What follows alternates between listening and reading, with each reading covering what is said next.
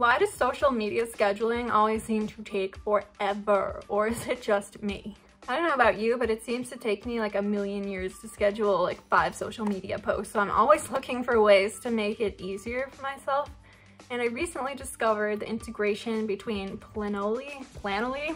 I can never say any of the names of these like softwares, but hopefully that's right and go with Planoly, Planoly. I just don't know.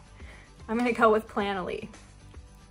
I think that's the easiest for me to say anyways. I recently found out how you can integrate that with your Canva. It's just one more step that you don't have to do. You don't have to save all Canva pins or Instagram post to your computer and have your computer kind of like being the middleman in the whole process. So it's a lot easier, it's just cutting out that one step and they actually make it pretty easy to integrate. So I'll just show you how to do that real quick. This is just a quick tutorial today. Hopefully it helps someone.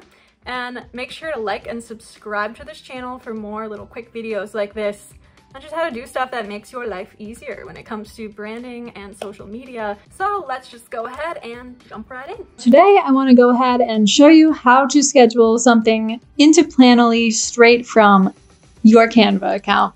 So it's super easy. This is going to be a quick video and a quick process. I have a free account right now, so there doesn't need to be a paid account for Planoly or Canva for this to work out.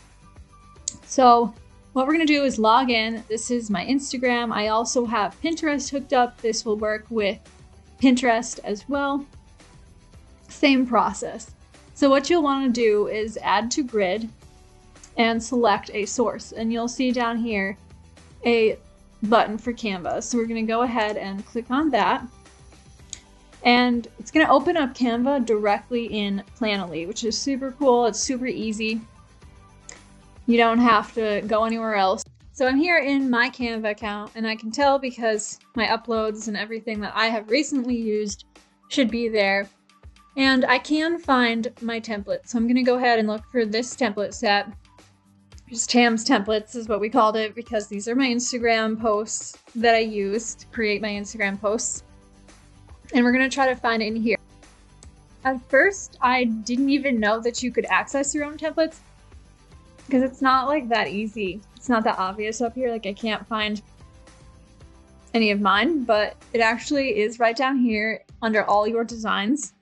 You'll be able to access all of your personal templates. So if you have a template set with all your posts set up, or if you want to use one of Canva's templates and you've designed everything, it's all set to go, it's in a post set, maybe you purchased one of our templates, then you'll be able to find it in here. And these are all of mine. Unfortunately, I don't see a search bar on here, so there's no way to like type anything in to find your template. So you just kind of have to keep on scrolling until you get to the templates that you want. All right, so I see the template that I want in my templates, and now I can go ahead and click on it. And it has 35 posts, 35 pages in here, and I've customized them all for my own social media. So they're just going to be a little preview over here.